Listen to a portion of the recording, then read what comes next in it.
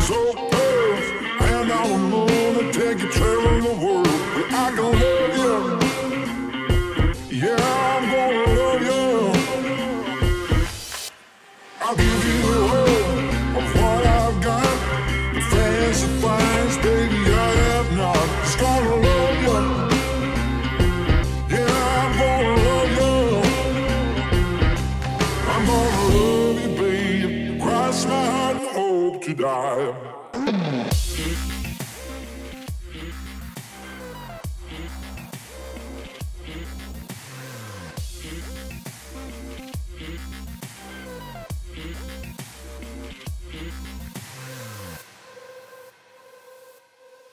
So good, good afternoon, beautiful people. It is I'm not sure if this technical Tuesday or just a vlog. Anyway, we are in Valencia and we've been here a week and we've got about a month left to go before we haul out, which basically means that I've got to start doing the jobs, end of season jobs that I do every end of season. So today, uh, for your entertainment is varnishing and woodwork, which you're going to think, God, it's like a craft program from the 70s and 80s. But it's important because essentially we live on a boat which where the saloon and a part a lot of the cockpit is there's a lot of wood and it needs maintenance especially the varnish. There's a lot of chips and dinks that occur. There's a lot of water splash damage in the galley. And it's just time to get all that kind of end of season work done. So today what we're going to do is strip back all the varnish that we're not happy with and then over the next couple of days we will varnish uh, the, the, the raw wood. The reason we don't varnish on the same day as doing the sanding is that if you do varnishing uh, on the same day as sanding, you end up with a lot of sawdust or or varnish dust back on your wood. So today we're going to strip everything down. We're going to strip it down with different grades of sanding paper.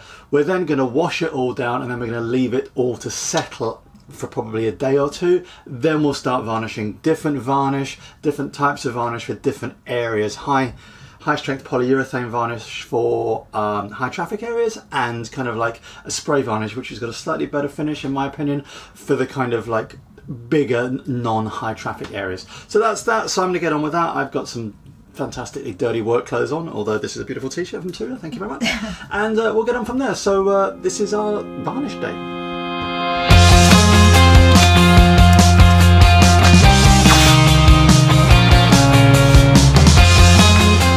going to start with a little mouse sander. Um, I'm starting with 180 grit sandpaper. You don't need to go any coarser for for for varnish work, and I'll move between 180 to 240 to 400 and then 600 grit just to get the varnish off.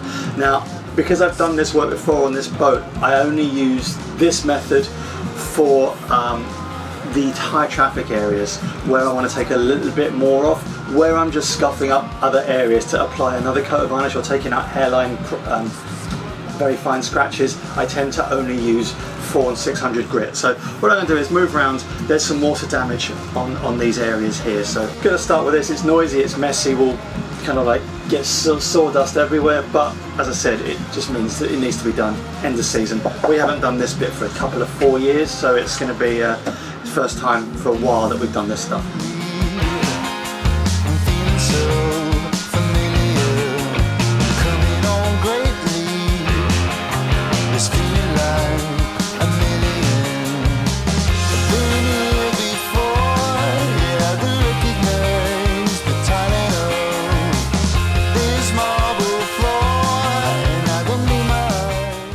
We, day two?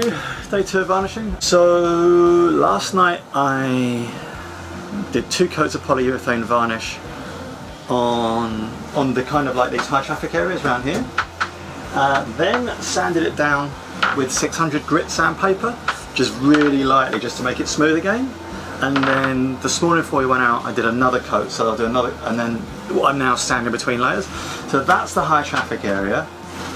Um, and then there's just little things like this rail here. And this rail is above our cooker, and I just think over the last seven years, the grease has affected the varnish a little bit.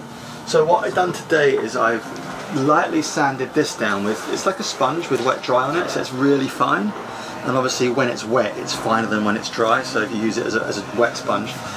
And then I am using um, some kind of satin spray varnish, um, which isn't as hard wearing as the polyurethane stuff, but it gives a better finish. So I'm literally just doing a coat, leaving it an hour, doing a coat, leaving it an hour, doing a coat, leaving it an hour. And as you can see, I've masked the entire boat up. So I'm just about to do another coat of this. Um, and so what I do is coat of varnish, leave it for an hour because it takes only 20 minutes to set, but I give it an hour. It's also really hot in here, so it sets a little bit faster, or will go off a little bit faster. Then a very light sanding, and then just um, a wet rag or a damp cloth just to get off any excess. And you just keep doing this over and over again. So sand, sand, wet ragged, let it dry, coat of varnish, and I'll do that three times just to get that up to scratch. And then um, this part down here, this high traffic area, I've done the edge in polyurethane, and I'm going to just give a light sanding to the base just to kind of um, kind of take the varnish a bit better, and I will use spray varnish for that. That's it. That's the plan. So 15 seconds of taking this and a third coat, and it smells bad because it's um, solvent based.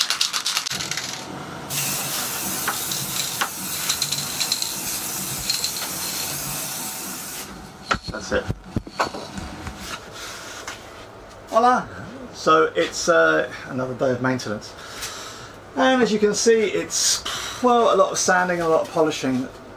Again, I kind of always try and keep this boat in just about show condition, or kind of as it's come out of factory condition. I think what's the word? It's not fact. Anyway, so basically today's job we had some condensation build up. I think it was in one of uh, I can't remember where it was. Probably in Charleston. Some condensation build up between the blind and the wood frame of the window and what it's done is just caused some mottling on the wood which it's completely 100% cosmetic but it annoys me because I can see that it's slightly different. Anyway today what we've done is we've masked all this up and I'm going to kind of just um, sand the, uh, the varnish back to, to bare wood and then build up um, some coats of varnish just to kind of blend it all in and feather it in again. And so you know this is this is just today's job. It's varnishing everything down. I start with a, a 180 grit sandpaper then move to 280 then to 600 and between those sands you put some water down. You kind of just um, kind of wet the wood. Wetting the wood does a couple of things. It removes excess sawdust. And the second thing it does it makes the wood grain swell a little bit. So when it contracts again you get a better finish. And then what we'll do is we'll varnish that and polish the varnish off. And that's another job done. So that's my job for today. Teresa's job is to use uh, its quadruple zero gauge wire wool bison wax just to polish um, all the woodwork so all the woodwork's got to have kind of like really kind of high quality wax put into it buffed into it and then and buffed off. And that'll just protect just protects the wood a little bit gives it a really nice finish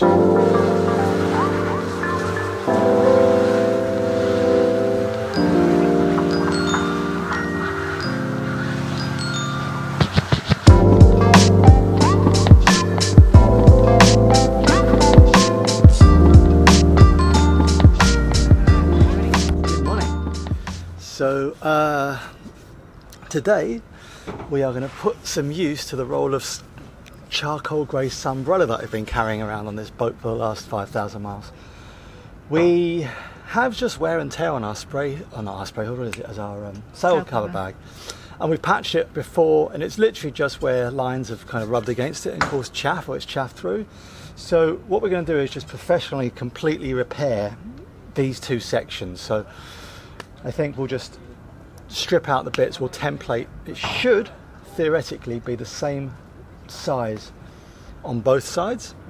Um, that's the theory. The practice, it won't be the same size. So what I'm going to do is template it, and then um, put two new panels on, and then redo all the stitching where it's broken, just to make it look better. And obviously, because the stitching has more than simply a cosmetic thing going so today's job is to restitch the sail bag, um, make two big new panels for it, and just do a full set of repairs on it so that it kind of looks as good as new. So it's a day of screaming at the sail right um, on the pontoon. Uh, so we're looking forward to that, aren't we? Yes, very much. Always. Always looking forward to that. All right. Yes. So, sorry, I'm a bit confused. What parts are you replacing? So if you look at this, here you film it. I am. So here, this was stitched up just as a, as a, a field repair. Yeah. and then there's a it's just literally where you know, you have a halyard that rubs against it for a couple of days. Yeah. Uh, so here and here, and here and here, there's just some fat points. Yeah, but uh, what are you replacing? What are you replacing? Literally, I'm going to take make a panel that goes from here, I Yeah. think from here, all the way down to here. So, so are you replacing this panel here? No, actually, I'm not sure whether I'm going to replace that panel or just go over the top of it. Because that's just decorative, isn't it? It's just because there's. Yeah, but I don't see any point to take it off because it's actually protective as well. Yeah. So I'm probably just going to get panels and replace the panels for these two sections. Well, and then put the Southerly 38 sign back on. I was going to, but the problem is that part of the problem is actually that there's wear on here. Yeah, exactly. So I was actually going to just take it off. I think just take it off. You've done this, haven't you?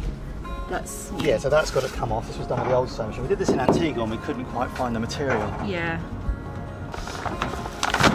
Yeah. That's amazing how this is like what Seven, Seven years, years old? Doesn't fade. It's amazing. That's why it's so bloody expensive. It just Yeah. does not fade.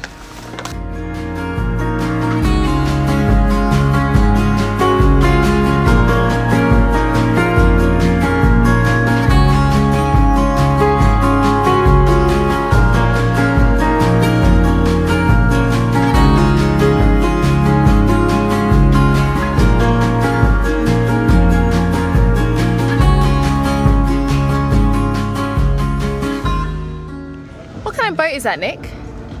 It's one of those things that cross the Ahí Atlantic. tenemos a esas cuatro jugadoras, las It's one of those boats that um, sailed to Bermuda because there was a replica of the boat in Bermuda.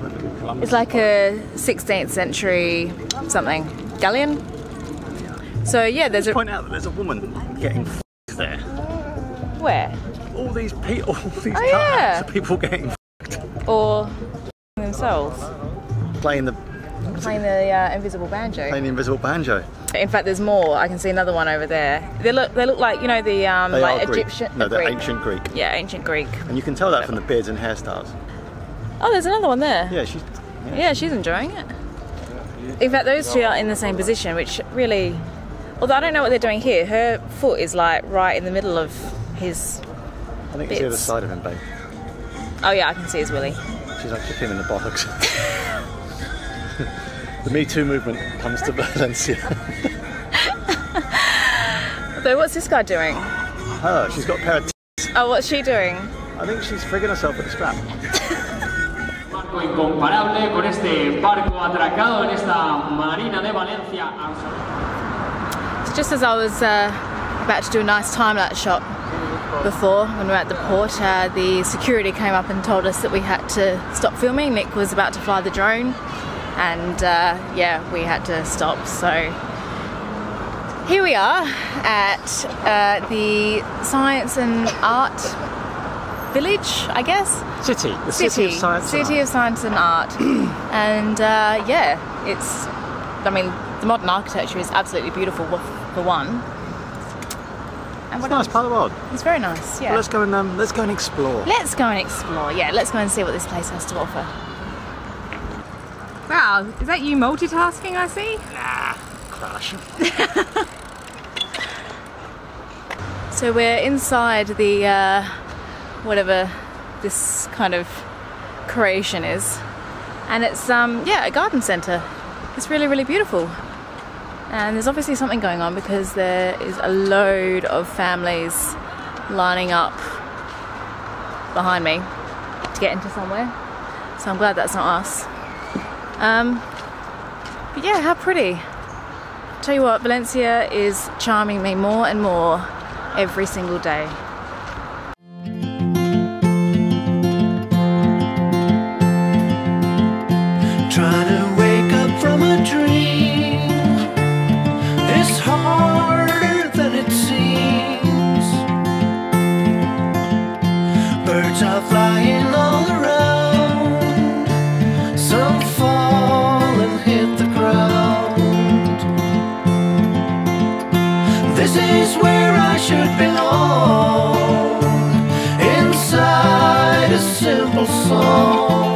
You so much for watching this week's video. If you like what we do and you want to see what we do every week, then please hit that subscribe button. Bye.